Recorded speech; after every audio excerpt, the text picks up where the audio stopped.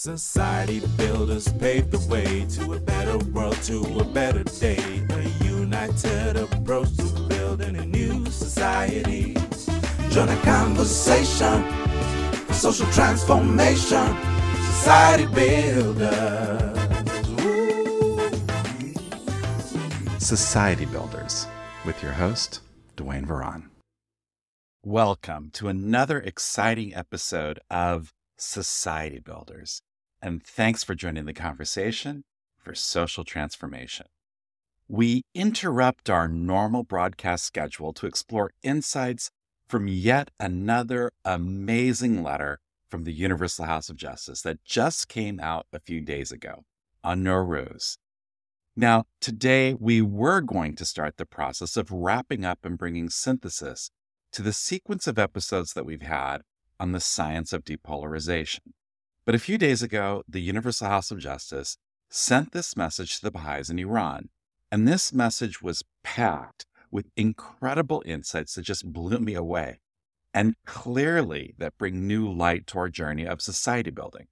And so naturally, I wanted to immediately dive in and engage with all of this in a conversation with you about this new message.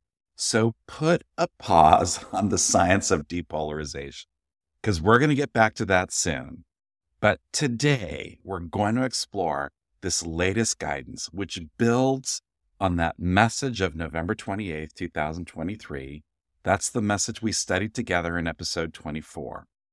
So today, we're going to study the message of March 20th, 2024. That's Naw Ruz of 181 to the followers of the greatest name and the helpers of the ancient beauty in the sacred land of Iran.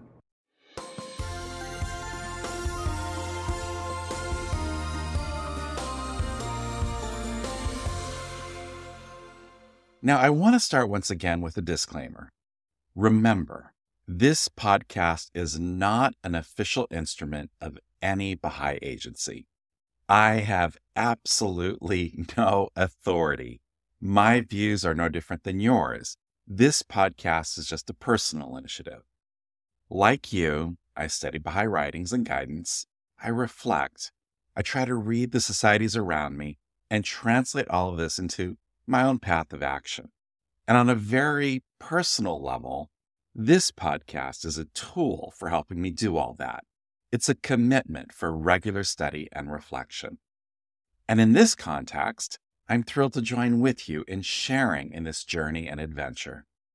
And I share this in the spirit of consultation as thoughts you can weigh and either accept or reject as you see fit.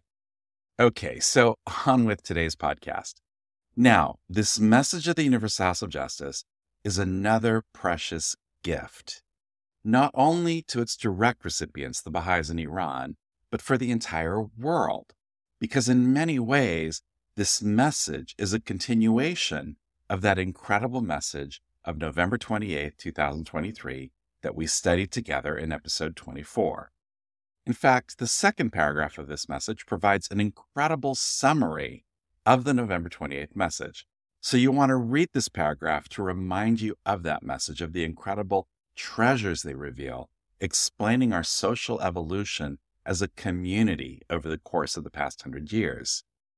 But it also goes beyond the original message, giving us new direction and new insights. Now, for me personally, there are two things that really stand out in this message. The first is that this is clearly a love letter from the Universal House of Justice to the Baha'is in Iran. I mean, the Universal House of Justice showers the Persian community here with so much praise and admiration. It's such a remarkable expression of the incredible love which the Universal House of Justice clearly feels here. And it's a respect which was clearly hard won by that community's exemplary response to the relentless campaigns of persecution which they've endured and which they continue to endure. And hopefully, these words give some comfort and solace to such a persecuted community. Just listen to all the different kinds of terms they use throughout the message to refer to the Persian Baha'is. They call them the followers of the greatest name, helpers of the ancient beauty, the sorely tried and devoted compatriots of the Blessed Beauty, lovers of Abdu'l Baha, that they're like sweetly singing birds raised by the beloved's own hand, warbling in the garden of rapture and servitude, that their hearts are aflame with the fire of the love of God, and their breasts illumined by his heavenly counsels, that at all times they have been at the front ranks and advanced at the vanguard as valiant horsemen who have from the beginning of the faith to the present day ceaselessly urged on the steed of endeavor in the arena of service, overcome every hurdle and obstacle, and obtain the highest prize and honor, that they are guardians of truthfulness and integrity. They say that they are the solace of the eyes of the Universal House of Justice, who remembers them at every moment lauds their perseverance in the face of unnumbered adversities, and that they beseech at the sacred threshold the well being, genuine happiness, and true liberty for those beloved of their hearts and souls. I mean, wow. You see what I mean here when I say that they are showering the community with their love and admiration, right? So that's one dimension of the message. It's a love letter. But much of the rest of the message, I think, is really an extension of the November 28th message. It's the next chapter with new insights and understanding the path to society building. As I mentioned earlier, this starts with that amazing summary of the message. I mean, this is the summary you should use whenever you want to try to remind yourself of the contents of that message. A summary of the treasures which they revealed in that treatise. Then, starting with paragraph five, the message reiterates themes from the November 28th message.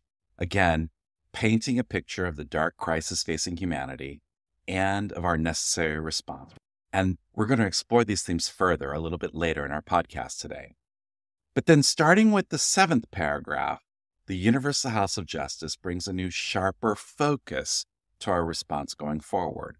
And this is centered on the theme of us contributing to the establishment of universal peace. And in this context, they encourage us to study their message of January 18, 2019, where they explore this theme of peace further. Wow. So let's dive in and start exploring some of this.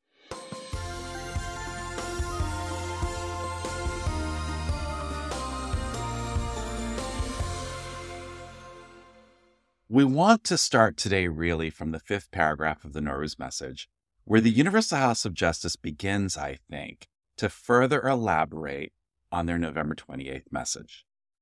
Now, some of this is reiterating and adding color to that November 28th message, but where the message goes further, I think, and remember, this is all just personal reflection here, but where it goes further, I think, is in giving us much sharper focus on the cause of universal peace. This is a signpost which the Universal House of Justice is giving us in helping us navigate our journeys of society building. And in fact, towards the end of the message, they encourage us to study that message I referred to earlier, the message of January 18th, 2019, which specifically addresses this theme of world peace. So we've got a lot to discuss today. Now, we need to bring this message, the November 28th message, and the January 18th message into alignment. So let's start with how the Universal House of Justice describes the state of the world today. This is something I always look for in these messages because it's such a precious gift that we get. This ability to understand what's happening in the world around us. It's such a privilege. So, how does the Universal House of Justice describe it in this message? Again, it's dark, very similar to how they describe it in the November 28th message. In fact, there's a particularly powerful section where they say this they say, The world is thus facing a profound and far reaching crisis that is destabilizing and disrupting its order. Although this crisis is not new and the reasons for it are not unknown to the people of Baha, yet its destructive results and the consequent confusion are more apparent than at any time past. Wow. Its destructive results and the consequent confusion are more apparent than at any time past. That's powerful, right? That means something. I mean, think about how much suffering we've seen over the past few centuries, and yet this is the time where its destructive results are more apparent than ever. And think about the world's confusion, yet this is the time where the consequent confusion are more apparent than ever. I mean, this is powerful, right? And they also say it is no wonder then that as a result of this crisis, conflict and contention among peoples and war and strife among nations are increasing day by day, and every pure heart and illumined conscience is oppressed and saddened thereby. And I think we can all relate to this. It weighs so heavily on our very souls, right? So, once again, we see in this message a reflection on the state of the world, with the disintegration eating away at our social orders. I mean, it's a dire picture. But of course, the Universal House of Justice share this not to frighten us, but to help us embrace our responsibility in working to release constructive forces to mitigate that suffering and much of that suffering, which is likely still to come. And this is the thrust of the guidance on helping us understand our role in the unfolding drama. And in this context, I want to jump towards the end of the message, where they translate this response into a very sharp point of focus. Indeed, they say, Today, the spiritual duty and moral responsibility of every conscientious soul is to serve the cause of peace and unity of the world. And here they give us that other gift, that reminder to study their message of January 18th, 2019, which provides much more detail on our path in promoting world peace.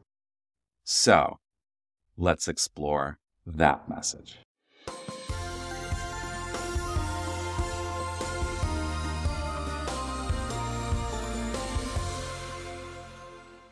Now, the January 18th message was written for a very special occasion. It was for the centenary of the Paris Peace Conference at the end of the First World War. This is really the start of the process of building machinery for a collective security as a planet. And as the Universal Justice explains, there were three key moments where humanity reached out for a real lasting peace but always fell short because of weaknesses it could not overcome. So, the first of these was the League of Nations, which grew out of that Paris Peace Conference at the end of the First World War. The world had experienced unprecedented devastation in the Great War, and there was a hunger, a true yearning, not to see this happen again. And the Universal House of Justice explains how this was the first time that a system of collective security enjoined on the world's rulers by Baha'u'llah was seriously envisaged, discussed, and tested. But tragically, of course, it ultimately failed that test because it was fatally flawed from the outset. You know, when embracing change, people want to keep the status quo as much as possible. And in this exchange between a new world order and the existing one, the limits placed on the new rendered it incapable of preventing the outbreak of the Second World War. So the second key moment happens after the Second World War, again, in the ashes of the devastation that that war brought. Again, there was a hunger for change, but also that tension between the old and the new. And so new institutions were born to help uphold a peace. Foremost here, of course, is the United Nations, but it was more than just the UN. It was also a system of international economic institutions and historic advances in human rights and international law. Territories under colonial rule became independent, and all kinds of regional and global cooperations grew in both depth and range. Now, none of us listening today would have been around for that first moment at the end of the First World War. Some of us might have been around for that second moment, the birth of the UN. But if you're 90 today, you would have been only 10 years old at the time. So your understanding and memory of that event might be limited. But I think there were many of us who vividly remember that third moment, those days when we were watching our TVs and saw the falling of the Berlin Wall. You know, shortly after the end of the Second World War, a new global competition evolved between the world's two major power blocs, a period we call the Cold War. And for many decades, we lived in fear of the outbreak of a nuclear war. But the Cold War wasn't just about this fear of a head to head US Soviet battle, it was also a global battle for dominance. And it popped up in numerous wars and conflicts across various regions Vietnam, Korea, Afghanistan, and it fed into countless civil wars across Africa, South America, Europe, and Asia. So let's go back to that moment in 1989 when we were glued to our TVs watching the Berlin Wall fall. I mean, this was a moment that none of us could believe. All of a sudden, there was a glimmer of the possibility for true peace. I know because I was there. In fact, at that time, I was part of a group of 40 Baha'i youth that had been invited into the then Soviet Union, the Promise of World Peace Tour, organized by the Baha'is of Hawaii. It was such an amazing moment. And let me tell you, the Russian people craved peace just as much as we did, probably even more so. And suddenly it felt like we were all going to see the establishment of that lesser peace promised by Baha'u'llah. A little side note here.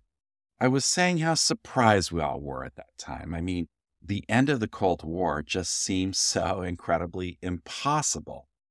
But I remember on the eve of all of this happening that there was a clue that something was going to happen.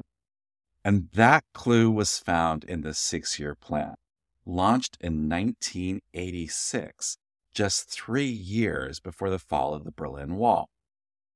And in that plan, the Universal House of Justice had assigned goals. And one of the goals for the U.S. Baha'i community was to settle pioneers in the Ukraine, which was a part of the Soviet Union. The Ukraine? Really? I mean, this truly felt impossible. I remember as youth, we looked at this with pure confusion.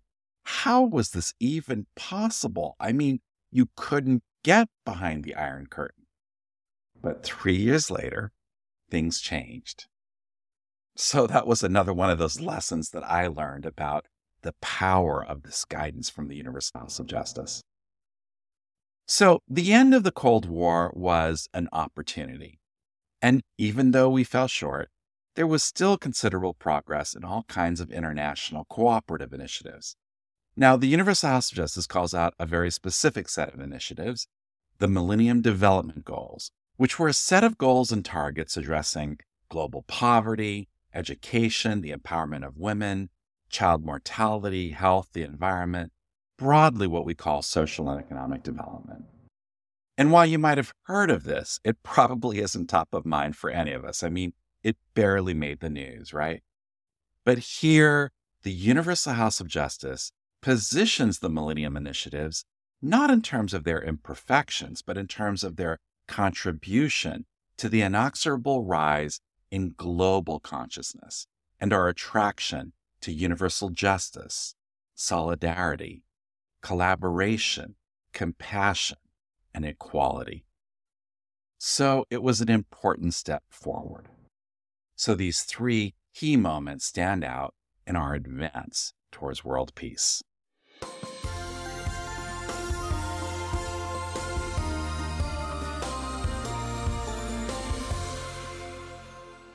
But then the Universal House of Justice begins exploring the new challenges that we faced as we came into the new millennium. And in many ways, this was a retreat.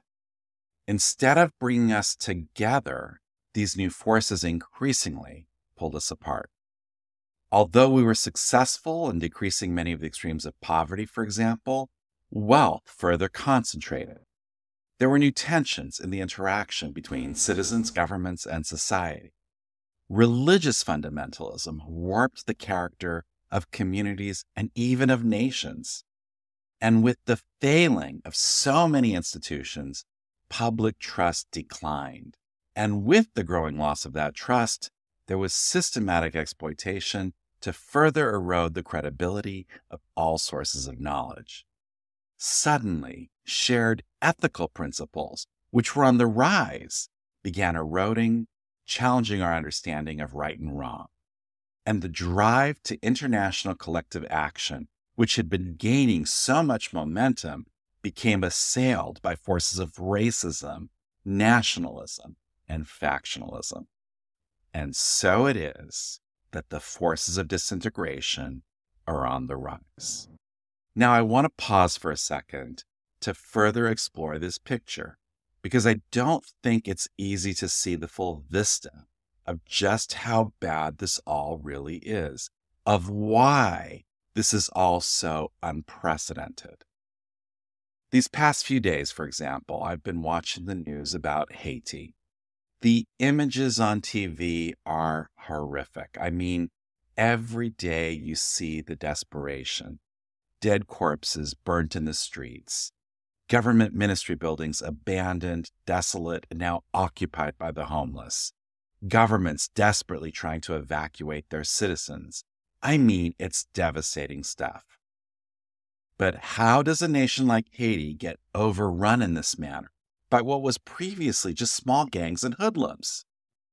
We all tend to look at the moment it all goes wrong, but the truth is, it was going wrong well before then. Societies like Haiti were being corroded from within. As social institutions break down, as public trust and confidence erodes, society becomes vulnerable. And this, I think, is what the disintegration is doing. It's corroding our societies, it's making them fragile. Now, none of us know what the specific form that follows might be, what it might look like. But when you're vulnerable like this, it only takes a spark. Now, we know that none of this affects our ultimate destiny. As the Universal House of Justice reminds us, the unification of humanity is unstoppable by any human force. It's the next stage in our global social evolution because it's the only way we can address our problems in our truly interdependent world. So, peace is inevitable. But the question we face is what price we pay for that peace. We can either embrace our future responsibly or resist it and pay a high price in suffering. And the Universal House of Justice makes it clear what the consequences are here. They say, as long as that call goes unheeded, there is no reason to doubt that the world's current state of disorder and confusion will worsen, possibly with catastrophic consequences, until a chastened humanity sees fit to take another step, perhaps this time decisive, towards enduring peace.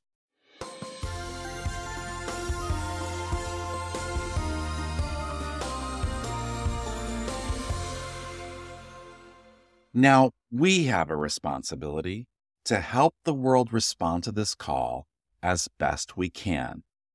But how? And here the Universal House of Justice helps further paint the picture.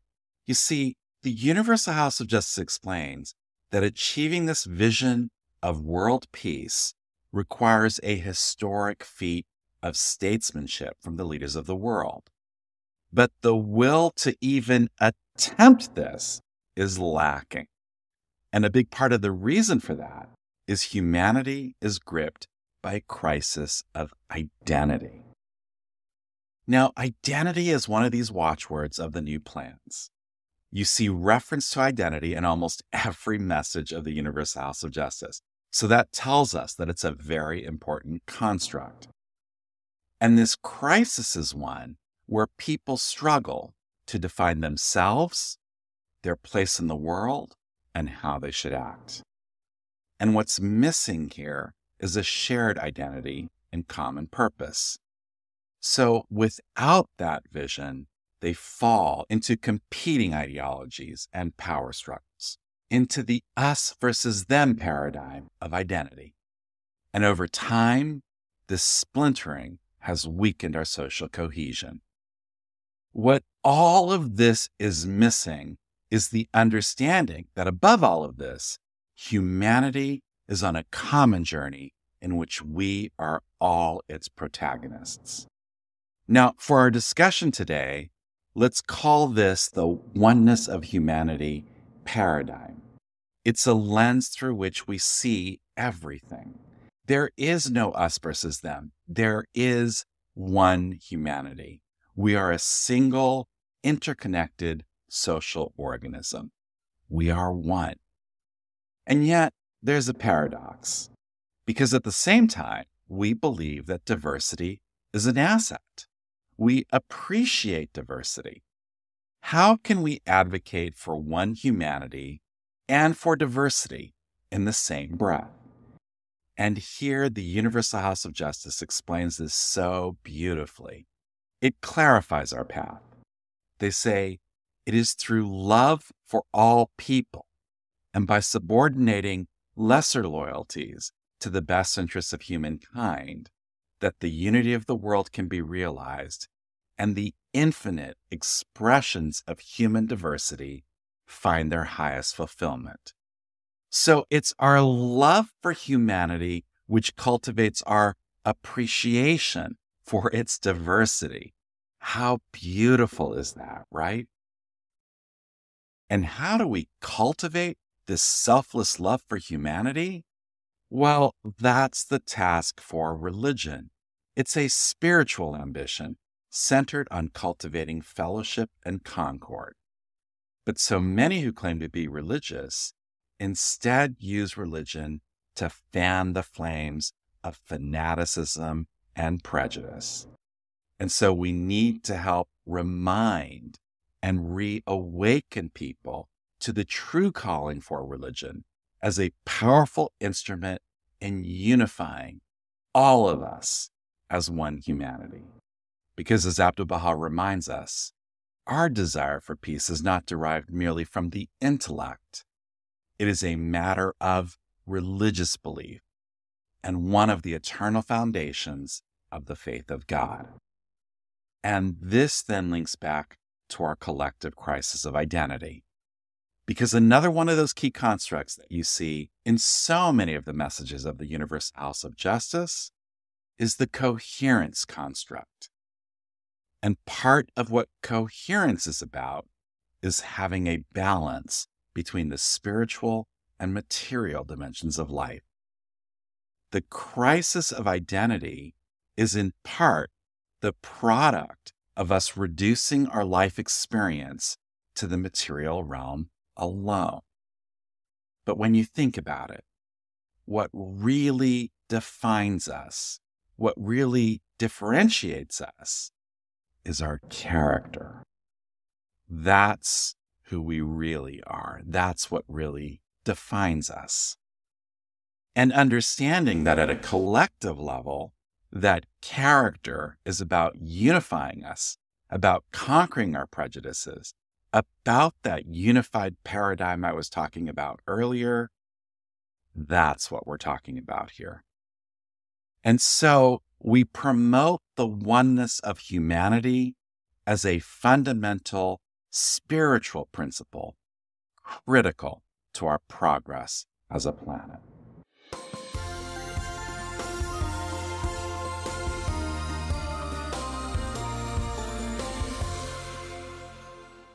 Now, there's another construct which we see really almost always in the recent messages of the Universal House of Justice, and that's a construct we can call agency, that we empower people to become protagonists in their own progress, their own agents for change. And this is another really big idea. Now, we're not trying to convert the world to our views. We're working to empower people to see truth for themselves and chart their own destinies towards the betterment of the world. And as the Universal House of Justice reminds us, in this important undertaking, every member of the human family has a share. In purifying the heart and cleansing its mirror from prejudice on one hand, and in creating the social conditions for peace and unity on the other, every individual has agency and the capacity to play a part. All souls are able to promote the culture of peace and unity in their interactions with friend and stranger alike.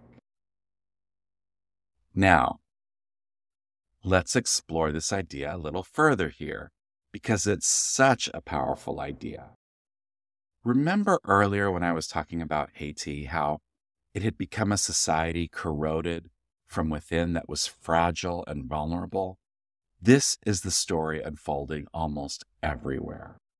So, what can we do to strengthen our social fabric, to create the conditions for peace? I'd like to go back to what some of our recent guests on this podcast have shared. Remember how in episode 21, Dr. Peter Coleman talked about nations that had taken measures to address their threats to peace.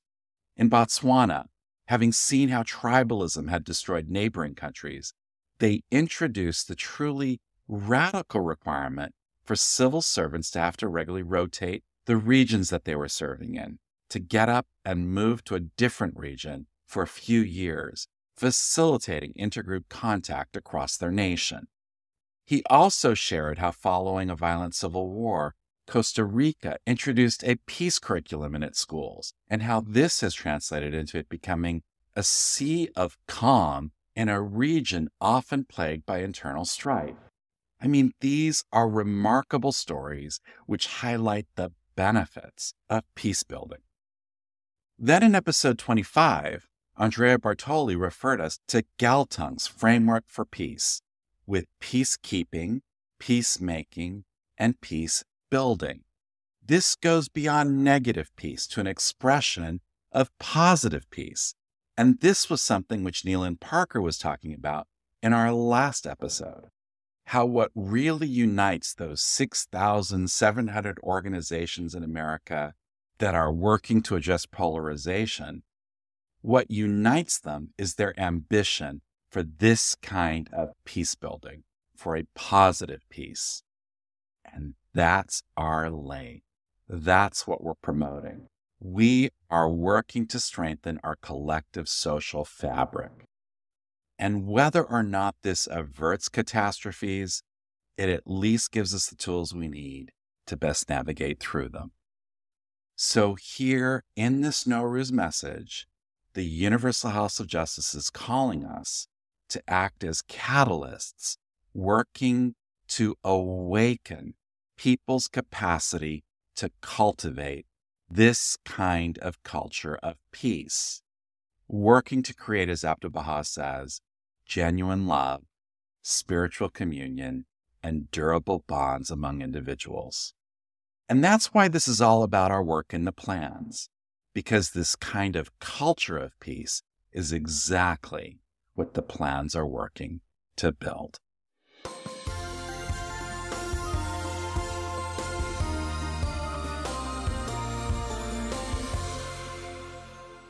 Now, there's one more reference in the Naw Ruz message which I'd like to draw your attention to. The Universal House of Justice says participation in the discourse on peace and oneness in all its numerous facets is another way in which the followers of Baha'u'llah assist souls to look to the future with a vision transcending the challenges and limitations of society today and work together to better understand the essential prerequisites of a peaceful society and make it a reality. Now, what stood out to me here is that we often think about very specific discourses in which we engage, like race unity or the environment. But I think, and remember, this is just a personal view here, but I think the Universal House of Justice here is helping us see that peace and oneness is a meta narrative because they frame it as a meta discourse with all its numerous facets. See, for me, on a personal level, this creates a banner under which so many of our discourse related initiatives will land. And that's this call for participation in the discourse on peace and oneness. And of course, they give us an incredibly inspiring close where they quote from Abdu'l Baha. He says, I hope this new year will be happy and blessed and will become the cause of the attainment of divine assistance and confirmation, so that ye may become the cause of the unity of the world and proclaim the oneness of the human race, may change enemies into friends, and make those who are deprived the confidants of the mysteries of the world's great peace. So let's reflect on the three ambitions that Abdu'l Baha voices for us here. First, that we become the cause of the unity of the world and proclaim the oneness of the human race. Now that's our message. Then that we change enemies into friends. I mean, what a challenge. That's a lot of what we've been exploring in our sequence on the science of depolarization. It's the ultimate challenge, right? So, this is our method. And finally, that we make those who are deprived the confidants of the mysteries of the world's great peace. And that's the result. How truly inspiring.